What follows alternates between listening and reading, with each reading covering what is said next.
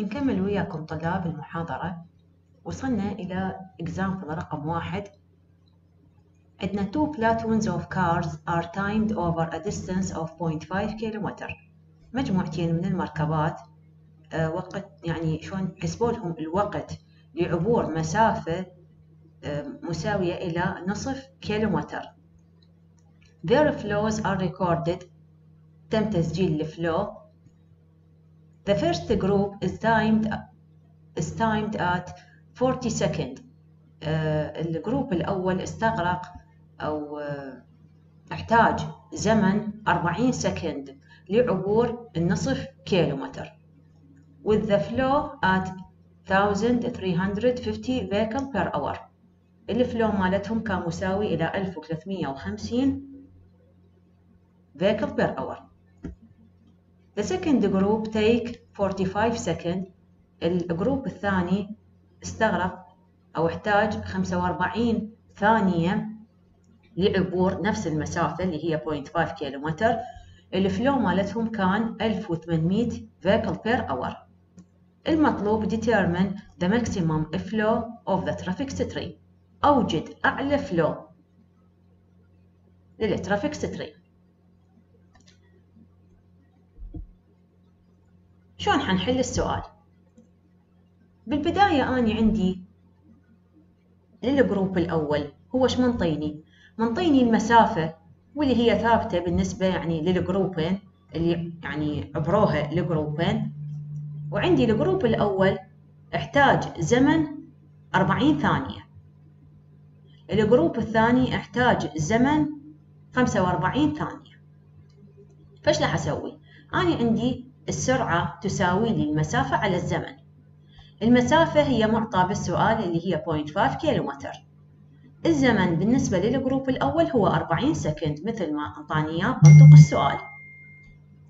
نجي أريد نحسب السرعة بالنسبة لل group الأول تساوي لي المسافة اللي هي 0.5 كيلومتر على الزمن 40 طبعا إحنا عندنا بما إنه الزمن هنا منطينا إياه بال second وأني دا أحسب speed دائما ال speed نحسبها بوحدات ال kilometer per hour فقسمنا هذا الزمن على 3600 حولنا من الثانية إلى الساعة. فتم تقسيمها فلهذا صارت فوق يعني انقلبت صارت بالبسط. فالناتج مالتها صار سرعة ال group الأول هو 45 كيلومتر بالساعة. هسه حسبنا أول شيء السرعة بالنسبة لل group الأول. نفس الشيء أحسب السرعة بالنسبة لل group الثاني. أيضا السرعة هي المسافة على الزمن. المسافة هي معطى بالسؤال 0.5 كيلومتر الزمن هو قال لي لل group الثاني استغرق 45 second لعبور هذه المسافة.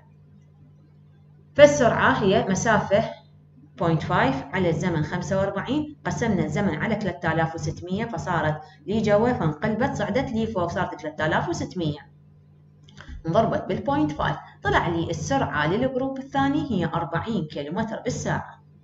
فصارت عندي سرعة لل group الأول 45 كيلومتر بالساعة وسرعة لل group الثاني 40 كيلومتر بالساعة. زين رح نجي هسه. هسه group رقم واحد. السرعة مالته 45 كيلومتر بالساعة. group رقم اثنين صارت السرعة مالته 40 كيلومتر بالساعة. زين. أني منطيني أيضا هو لكل group منطيني ال flow. صار عندي flow و speed أقدر أحسب له ال density طبعا. ف density لل group الأول هو ال flow اللي هي 1350 اللي هنا نعطاها بالسؤال. 1350 على سرعة ال group الأول اللي هي 45 كيلومتر بالساعة. فطلع لي ال density لل group الأول 30 vehicle per kilometer. أرجع أحسب ال density لل group الثاني اللي هي flow على ال speed. 1800 هي ال flow بالنسبة لل group الثاني اللي هي هنا منطية بالسؤال. على ال speed اللي هي 40 كيلومتر بالساعة. طلعت عندي density لل group الثاني 45 vehicle per kilometer. فصار عندي هسه لكل group speed و density. لل group الأول speed و density ولل group الثاني speed ودنسيتي هسه إيش راح أسوي؟ To get the consequent relationship between speed and density based on the above, above two result use coordinate geometry راح نستخدم هاي العلاقة الخطية ال y minus y1 يساوي لنا ال m في x minus x1 أطلع. أني من هاي العلاقة أستخرج قيمة ال m. ال m شو تساوي لنا y؟ تقدرون هنا نفس الشيء تكتبون y minus y 1 تريدون y 2 ناقص y 1 نفس. ما يهم. على إكس 2 ناقص إكس 1 الواي 2 هي شنو هي؟ هي سرعة ال group الثاني. ليش؟ لأنه أنا عندي ال y axis هو speed فأخذت الأربعين اللي هي سرعة ال group الثاني minus سرعة ال group الأول ال 45 على density مال ال group الثاني minus ال density مال ال group الأول. بس خلينا نتأكد أنا ال density لل group الثاني 45 مو؟ صحيح ال density لل group الثاني 45 ف y 2 minus y 1 يعني سرعة لل group الثاني minus السرعة لل group الأول على ال density لل group الثاني minus ال density لل group الأول. طلعت لي القيمة تساوي لنا minus ثلث. ليش minus ثلث؟ لأن إحنا قلنا العلاقة ما بين ال speed وال density هي نزول علاقة عكسية. لذلك يطلع عندي الميل مال الخط هو بالسالب. هسه أنا طلعت الميل.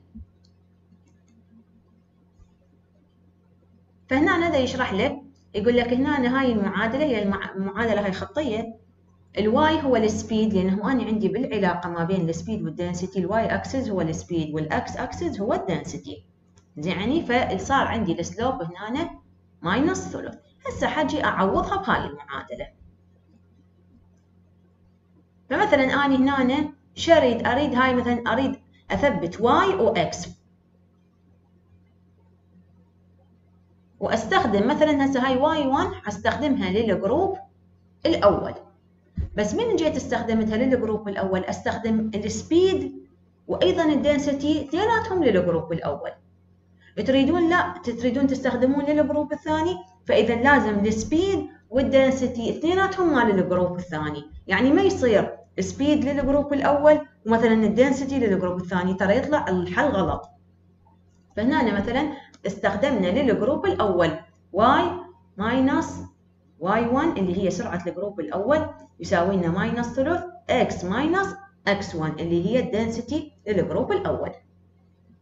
أو تريدون ال y1 وال x1 لل group الثاني نفس الجواب يطلع. بس قلت لكم لازم شرط أنه نفس ال group السرعة وال density وال m هي minus ثلث طلعت عندي هاي المعادلة بدلالة y و x هسه إيش راح أجي أسوي؟ أني هو إيش يريد مني بالسؤال؟ مطلب السؤال هو إنه أطلع ال maximum flow إحنا اتفقنا ال maximum flow شو كنت يصير؟ من السرعة تساوي لي free flow speed على اثنين ومن ال density تساوي لنا jam density على اثنين اذا أني هنا أحتاج أحسب free flow speed وال jam density يعني أعلى نقطة سرعة واعلى نقطة density بس اني هنا بالسؤال اني عندي speed و density مال group ات بس ما عندي أعلى وحدة. لذلك اني استخدمت هسه حستخدم هاي المعادلة. إيش راح أجي؟ شو أسوي؟ مثلا أعوض ال x صفر. يعني شنو ال x صفر؟ يعني ال density صفر.